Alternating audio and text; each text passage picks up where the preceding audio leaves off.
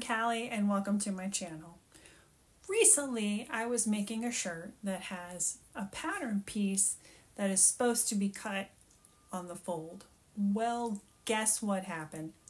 I didn't cut on the fold.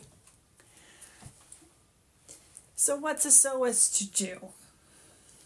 If you've already checked your remnants, checked the store, checked your stash, you had see if you had anything that'll go, you've got nothing, and I'm talking not a fucking thing. You compensate by borrowing from one seam to create another. Let me show you. So I was making a shirt with a back yoke and th- supposed to be three pieces on the bottom, but due to my error, I wound up with four. So let me show you how I fixed it. Okay, now since we got a 5 eighths of a seam that can happen on this side, we can borrow a little bit from that seam allowance. So what I did was, is took a, I sewed the back pieces together at a quarter of an inch seam allowance. And then I took it that quarter of an inch away from the seam allowance over here, but just on the center part, okay? This part, this outside part is still sewn at a 5 eighths of an inch seam allowance.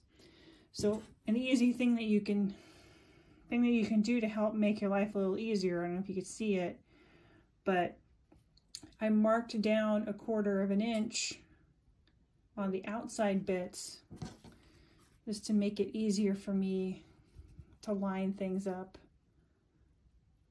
when I pin it. So I'm going to pin this we're going to sew it and make sure this bitch matches.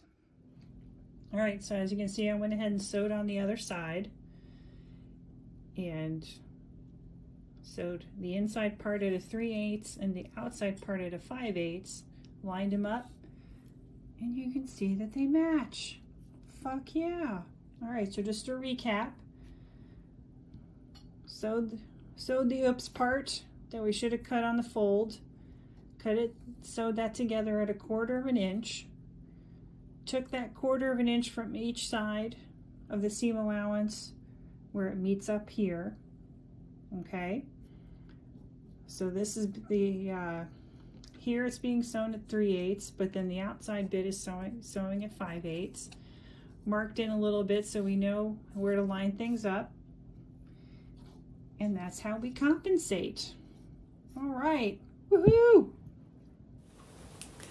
Now, if your seams are less than 5 eighths of an inch, it could get a little tricky since there is less wiggle room. But this is a good method when you're shit out of luck and can't find any replacement fabric. Well, thanks again for watching. Please like, subscribe, and ring that bell. It really helps to get this content out to other folks like yourself. Follow me on Instagram at you.sew.can and check out the t-shirts I have on my TeePublic store. All right, everybody, be excellent to each other. Bye-bye.